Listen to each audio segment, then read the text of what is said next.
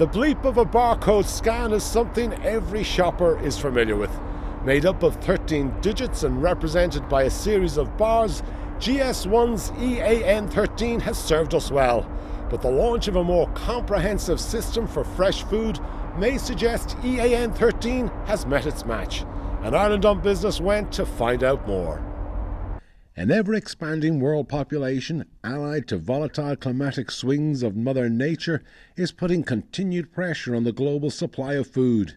And increasingly, the food supply chain, all the way to your local shop, is seen as a lever of change. Introduced by GS1 in the 1970s, EAN 13, as it is known, became the global standard in the retail sector. Advanced for its time and essential as a universal platform of transaction, its limitations in the food sector is now seen as a simple matter of real estate. And by increasing the number of fields beyond the traditional 13 digits, a more informed format is now available and called DataBar.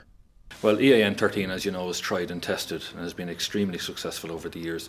It's the de facto standard barcode for point of sale systems. Put simply, the EAN 13 simply doesn't include enough data to enable you to identify the product and other data fields, such as the price and the weight, successfully. The first for Ireland, Roscommon based Gilligan Meats is a farm to fork retailer, and its recent deployment of DataBar was based on the potential benefits for the operation, and primarily as a means to underwrite the quality of its fare.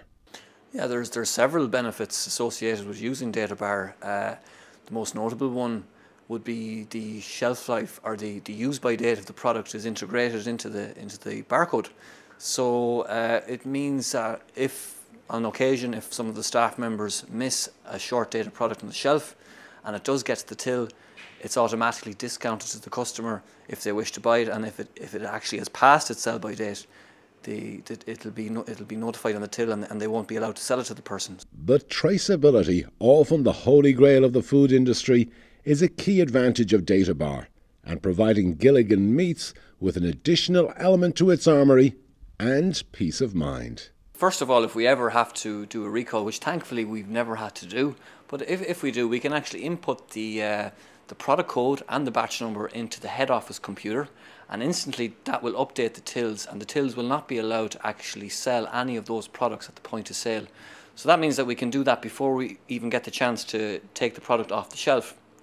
And secondly, and, and most crucially, with the loyalty card system that we use here at Gilligan's, that each individual customer has their, their barcodes on the back here, we, we can actually trace what customers got that particular batch in question. So we, we have all their contact details there on file, and it's only a matter of making the call and making sure that they return that product. So without DataBar, I mean, we, we just we couldn't do that, you know. It's and it, it's it's brilliant. By correlating the tag numbers of individual animals to each carcass and its primal parts, the same batch number is used throughout the whole slaughter to sale process, linking each product on the shelf to the originating animal.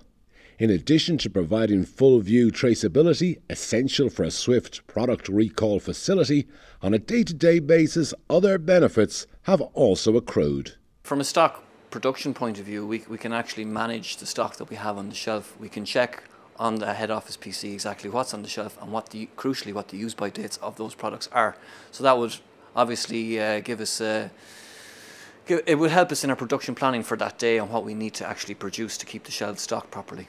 But the real benefit of Data Bar is ultimately the consumer, and the full product visibility provides an assurance that what is on the pack is actually what is inside the pack, while research among consumers shows an appetite for the additional benefits.